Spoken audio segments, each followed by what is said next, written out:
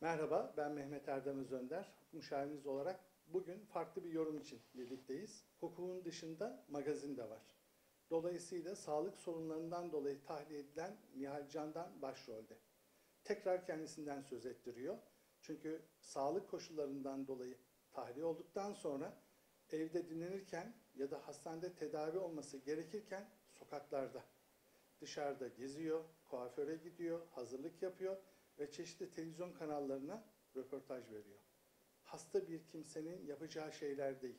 Dolayısıyla bu durumda toplumda infial yaratıyor ve adalet duygusunu zedelemiş oluyor. O zaman şöyle bir düşünmemiz gerekiyor. Cezaevinde yatan binlerce hasta insan var.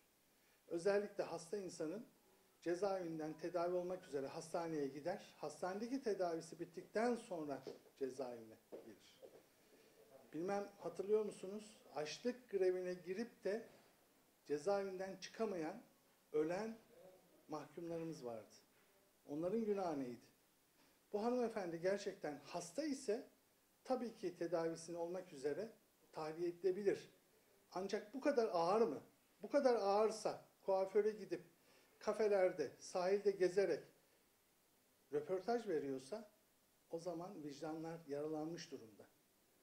O zaman şikayetçi olanlar, buradan zarar görüp malını mülkünü kaybeden, müştekilerin çevresindeki çocuğu, çocuğun e, hakkını kim koruyacak? Adalet zedelenirse kimse rahat uyuyamaz. Eğer rahat uyumak istiyorsak önce adalet. Adalet herkese lazım. Nihal kardeşimize de lazım. Gerçekten hastaysa, gerçekten tedaviye ihtiyacı varsa sokaklarda gezmesin, hasta gibi davransın. Dolayısıyla verilen karar vicdanları yaralamıştır. Dolayısıyla bir hukukçu olarak gerçekten şaşırdığım ve üzüldüğüm için bu kararın doğru olup olmadığını bir yorum yapmayacağım ama hanımefendinin davranışları herkese sonucu söylüyor. Dediğimiz gibi son kez bir daha hatırlatayım.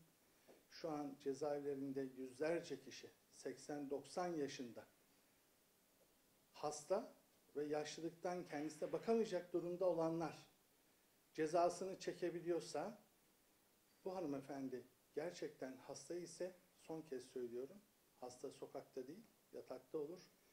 Keşke tedavisini olurken keşke hastanede bir e, tedavi sürecini veya evde dinlenme sürecinde röportaj verseydi. Kaldı ki bu işte magazine alet edildi.